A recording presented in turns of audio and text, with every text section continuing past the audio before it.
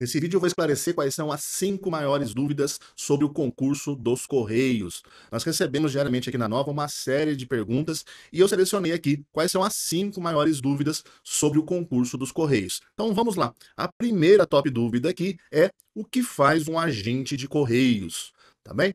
Então tem uma grande dúvida, né? O candidato ele que já quer saber onde é, com o que é que ele vai trabalhar. Para isso, a gente tem que saber o seguinte: o agente de Correios, o cargo está dividido em três diferentes atividades: atividade de carteiro, atividade de atendente comercial e atividade de suporte. Tá então, quando você faz a sua inscrição, você vai escolher, você vai optar por uma dessas atividades. Por isso que é importante saber sim o que é que cada uma delas para ver a que mais se adequa com o seu perfil, tá bem? Então, o agente de correios da atividade carteiro, que é mais comum, a maioria das pessoas conhece, é aquela atividade de coleta, entrega, distribuição de quê? De produtos postais e de mercadorias. Hoje os Correios, né? Se na sua origem ele era o, o, o grande agente ali, administrador do, de produtos postais, cartas, correspondência em geral, hoje ele é uma grande empresa de logística, né? Quando você compra alguma coisa, a grande chance de chegar é que ela vai chegar pelos, pelos correios. Então o carteiro é aquele agente de correios que faz ali a triagem, a separação das encomendas, a distribuição das encomendas ali para o, o, o, o carteiro que vai a pé, de bicicleta, de, de, de, de é, motorizado, né? Seja de, seja de automóvel, é, caminhão ou mesmo, ou mesmo moto, tá? Então, é, existem atividades internas que são feitas pelos carteiros e também atividades externas, tá bem? É, é uma carreira bastante interessante, claro que tem que ter perfil, porque é um trabalho de rua, exige esforço físico, tá? Existe uma seleção que é feita para aqueles que vão exercer atividade motorizada, porque existe adicionais em cima disso, tá? Mas a atividade de carteiro basicamente é essa. Já a atividade de atendente comercial Atendente comercial é aquele que fica ali no guichê, fazendo atendimento ao público, vendendo os produtos e os serviços disponibilizados pela empresa de correios e telégrafos, tá? Então, faz esse, esse, ah, esse atendimento ao público, recebimentos ali, atividade de banco postal nas, nas agências que tem, né? É, essa, esse serviço de banco postal. Uh, então, o atendimento comercial é basicamente esse trato aí com o público na venda de serviços e produtos aí disponibilizados no portfólio dos Correios, tá? O terceiro, que é um pouco mais desconhecido, é a primeira vez que nós temos o um concurso para eles.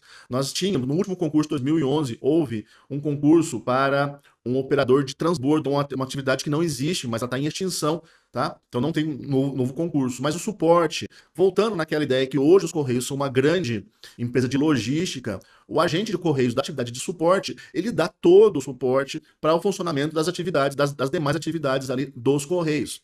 Então, por exemplo, controle de estoques, né? Toda a parte de operacionalização ali, por exemplo, né? de é, manutenção né, de eh, verificação, controle de, manutenção de equipamentos, faz sim atendimentos, tá? Via telefone, atende, tira dúvidas sobre uma série de produtos e serviços dos Correios, faz a operacionalização ali também da distribuição. Então é toda uma área de suporte de logística, de suporte administrativo, parte de, de arquivos, manutenção de, né, de sistemas e arquivos, é o agente de suporte que faz, tá bem? Então vamos lá para a segunda dúvida: qual vai ser a banca organizadora do meu concurso para agente de Correios? Então, hoje, né, nós estamos aí já no, uh, caminhando para o final do mês de maio.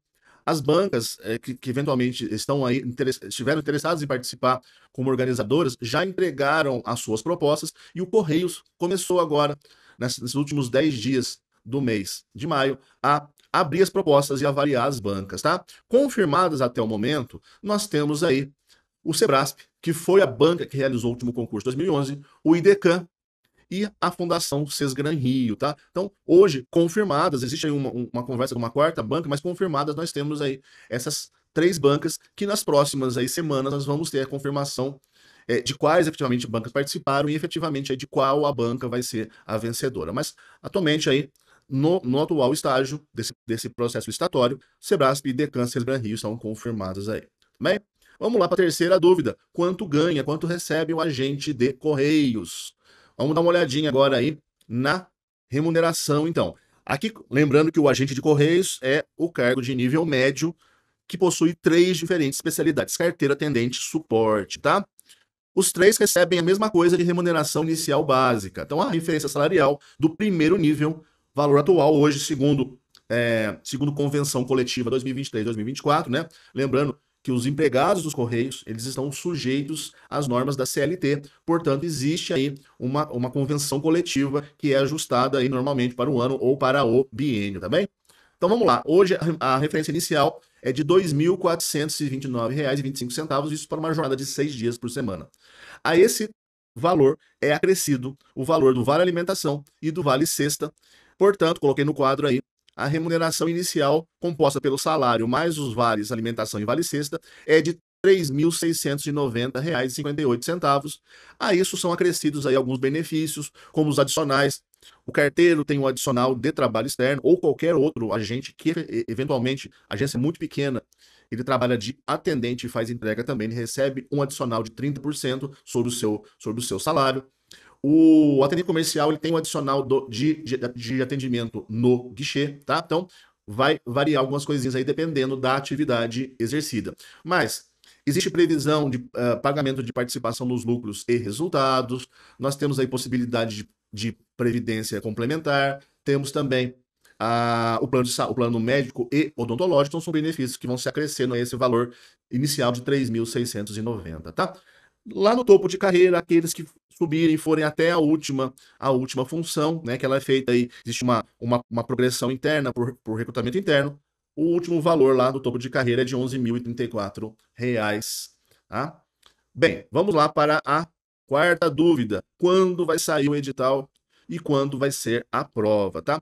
Os Correios divulgaram um cronograma e segundo o próprio presidente dos Correios, eles têm intenção, inclusive, de adiantar esse cronograma, tá? Então vamos ver aqui qual foi o cronograma oficial divulgado pelos Correios.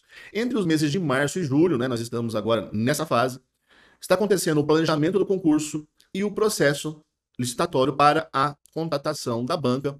Isso para vocês, nós temos aí confirmados três bancas até o momento, tá bem? Qual é o próximo passo aqui? A contratação efetiva da banca, segundo o cronograma dos Correios, acontecerá no mês de agosto e o edital vai ser lançado no mês de setembro.